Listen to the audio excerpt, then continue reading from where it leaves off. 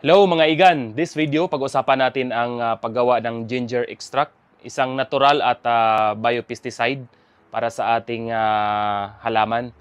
Dahil ah, dito sa likod, meron na pong insekto na hindi dapat nakakabit sa ating ampalaya.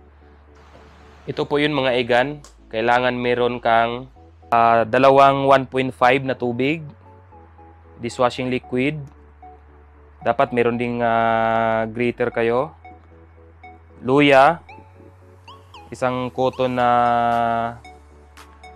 na tila at ah, strainer. Ayun po mga igan ang kakailanganin sa paggawa ng ginger extract, yung natural natin na biopesticide. Ngayon, ah, anuhin lang natin yung luya.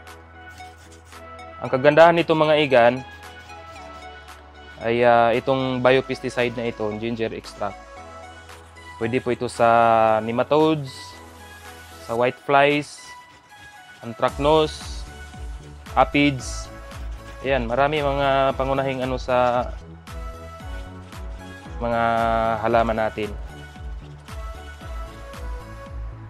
Ang halo nito mga igan, sa isang 1.5 dapat meron kang 25 grams na luya. So inestimate ko na lang nung bumili ako sa Bacala. Bumili ako doon sa supermarket malapit dito sa bahay. Inano ko muna sa kiluhan yung ano yung binalatan ko na ano na to. So 50 grams po siya. So since na sa 1.5 liter ay 25 grams na luya. So 50 grams dalawang 1.5. So, yun po yung mixing niyan.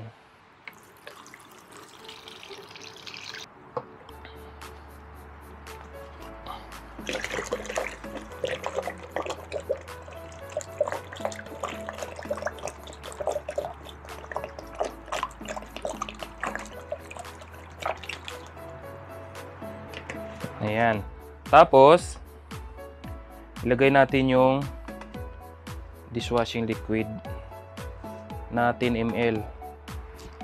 Since na 1.5 liter po yung ano, dalawa, magdadagdag pa tayo ng isa pang 10 ml.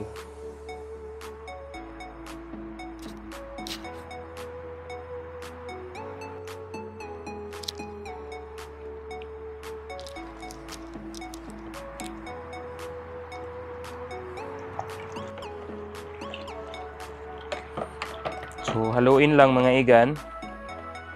Uulitin ko po, yung mixing niya ay 25 grams na luya, 10 ml na dishwashing liquid at ah, 1.5 na tubig.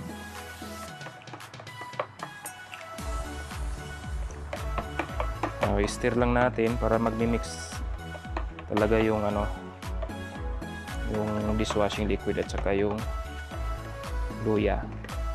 Tapos mga igan, ah, isit aside muna natin to kasi hihintayin natin ng isang araw bago natin sasalain or bago natin pwede nang gagamitin.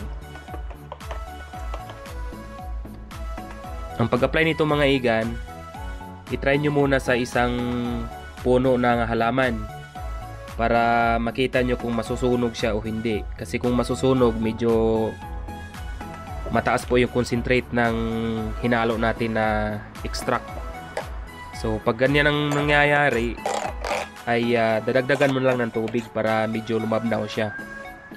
Okay, so hindi po pwedeng na idiretso-diretso mo siya pag ah, spray doon sa lahat ng ah, halaman mo. Baka mamaya ay mamatay lahat yan kinabukasan. So, itry mo na sa isa. Tapos pag ah, maganda po yung resulta, hindi na susunog ho yung dahon, saka mo na lang i-spray sa lahat ng halaman. Okay, ayan mga igan. So, set aside natin to ng isang araw. Ngayon, tatakpan ko lang siya.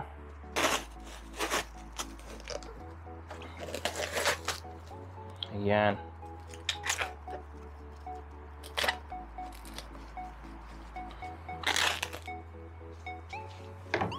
So ayan mga igan, tatabi lang natin to ng isang araw. Welcome back mga igan. So tapos na po yung ating ah, isang araw na paghihintay. Ito na po yung aking ah, ginger extract. So ngayon, ang ano natin ay pwede na natin siyang sasalain para mailagay na natin doon sa 1.5 na botilya plastic bottle. Tapos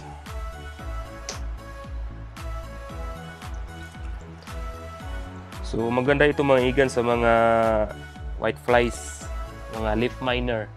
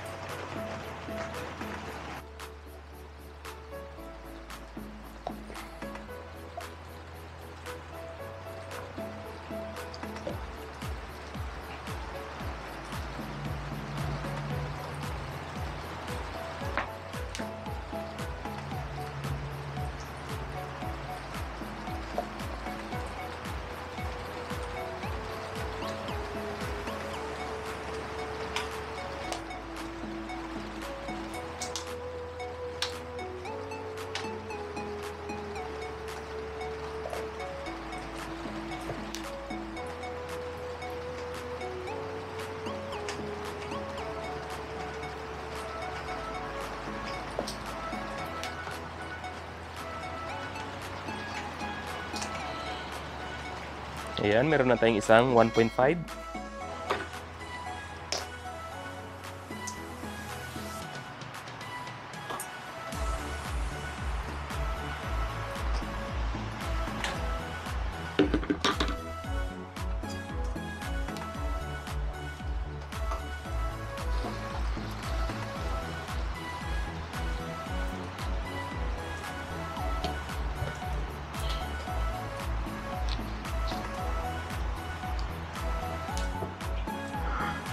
Ayan na po mga igan, ito na po yung ating finished product na ginger extract bilang uh, biopesticide natin o natural na pesticide para sa ating uh, garden.